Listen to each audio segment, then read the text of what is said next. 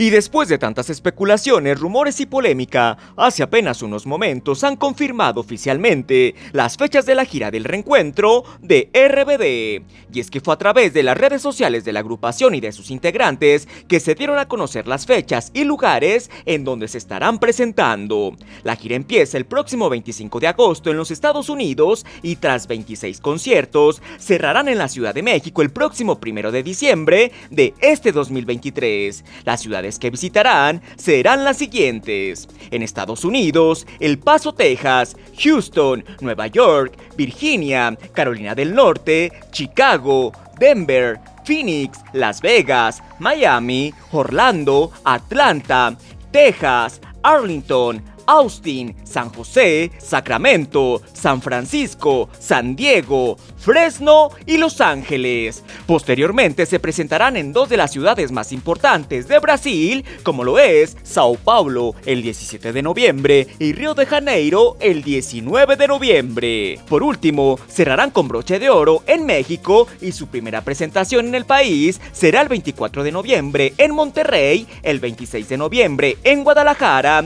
y la gran pedida el primero de diciembre de este 2023 en el Foro Sol de la Ciudad de México. La preventa de boletos para todos sus conciertos será del 24 al 26 de enero y la gran venta general a partir del 27 de enero.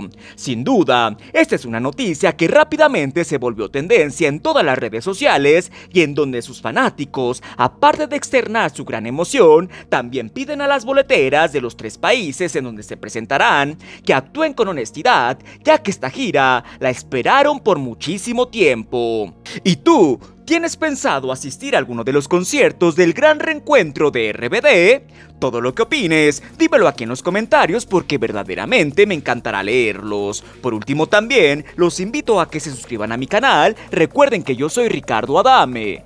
¡Hasta la próxima!